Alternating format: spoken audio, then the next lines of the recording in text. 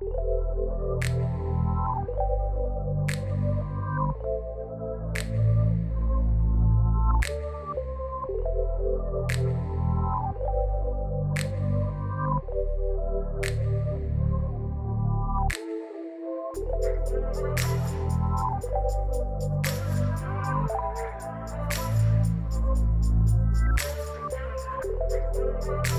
there guys, welcome to a new video. My name is Yvonne and uh, today I'll be taking you through the baby room in this house that I've been recently working on. I've taken you through the dining room space, the living room space and thank you so much for the nice comments and uh, for the support so far.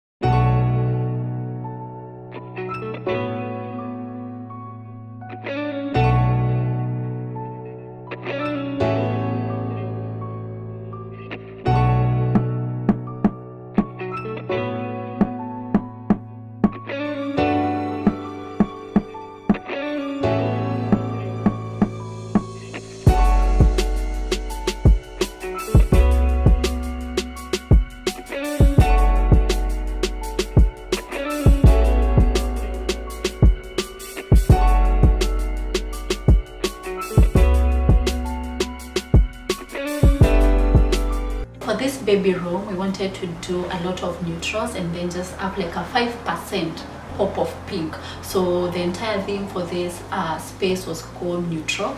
Um, and we also did a wallpaper to just add a bit of character in the space. One thing that my client loves so much is animals and it's one thing that you'll see around this entire space all the furniture in the room came in white which i think is a very nice neutral color and they were done by little cribs they also provided us with the wallpaper and they sent someone to install it and i do think it's a very nice um, piece mostly for the wallpaper because it has a bit of you know like the giraffe detail on it. It's it adds a bit of character for this space I stuffed the wall with a dresser because I felt like it was a bit empty and uh, I introduced a mirror which I feel like is a nice piece for the room because it also helps brighten up the room more and uh, I kind of styled around it with frames but I wanted to have some sort of balance so I did three on each side. We have three animal prints and three Bible verses and I allowed my client to kind of pick the Bible verses because I wanted the room to have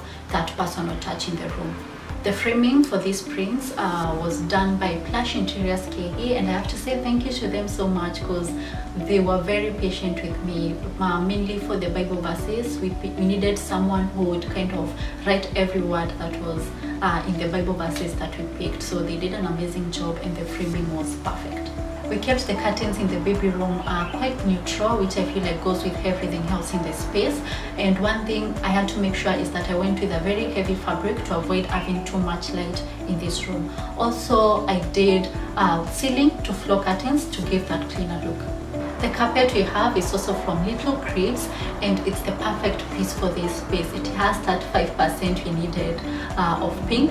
It's also has an animals on it which is something that we also wanted for this room. When I started this video I was saying uh, we needed to go neutral, just 5% pop of pink and then uh, a few animals here and there and this carpet all that so it's a very nice piece baskets are quite functional for every room. So i got the basket from smart lady home. I feel like it goes well with everything else in the space because it's in white and it has a bit of brown which is like a neutral color. So it's where she can have like maybe throw blankets a few pillows just anything she wants to throw in there. So it's quite a nice piece and quite functional for the space I do hope you guys have enjoyed the video. Thank you so much for being part of all this ever since I started sharing the living room tour, the dining room tour, and now the baby room. I hope you have enjoyed it. If you have, give the video a thumbs up and don't forget to leave a comment. Let me know what's your best part in the room. So yeah, and I'll see you in my next video. Bye bye.